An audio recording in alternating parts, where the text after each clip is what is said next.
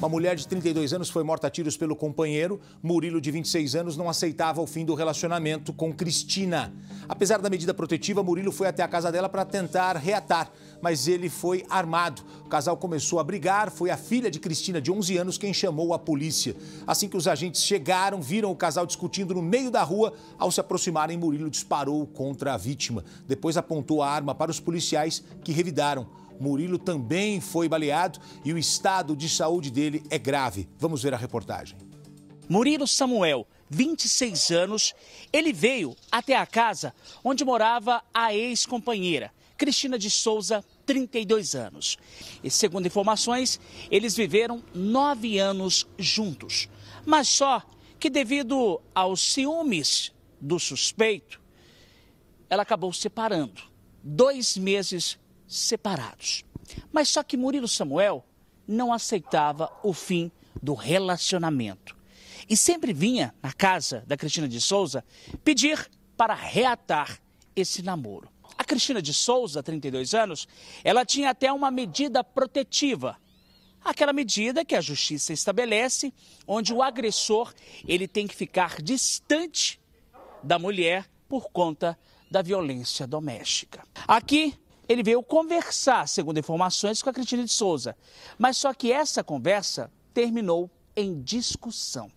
E nessa discussão, veja só, o Murilo Samuel, nervoso, agressivo, sacou da pistola 765 e começou a efetuar diversos disparos de arma de fogo contra a vítima. Por quê? Essa agressão teria começado no interior da casa e se estendeu aqui para a parte externa, ou seja, na rua. Assim que os disparos estavam acontecendo, uma viatura da Polícia Militar passava pelo local. Mas só que a filha da Cristina de Souza, uma das filhas dela, tinha ligado no 190, falando de que a mãe estava sendo aí vítima de agressão, vítima de violência doméstica por parte do ex-companheiro dela, Murilo Samuel.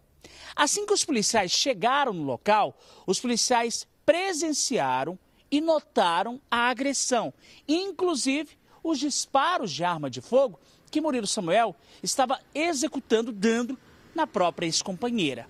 Nessa hora, os policiais pediram, né, para que Murilo Samuel parasse com essa história, mas só que de nada adiantou. O Murilo Samuel, suspeito dessa história, continuou agressivo e apontou a arma de fogo para os policiais. Os próprios policiais, ao revidarem essa injusta agressão, acertaram o Murilo Samuel. Os policiais se locaram para o local rapidamente. Quando viraram a esquina, o homem deferiu quatro disparos contra a mulher, a ex-companheira. Os policiais ainda tentaram a reação, conseguindo atingir o homem. Ele, os dois foram socorridos ao hospital de Planaltina. A mulher, infelizmente, veio a óbito e o homem foi, foi é, conduzido para o hospital Planaltina, foi depois para o hospital de base aqui de Brasília.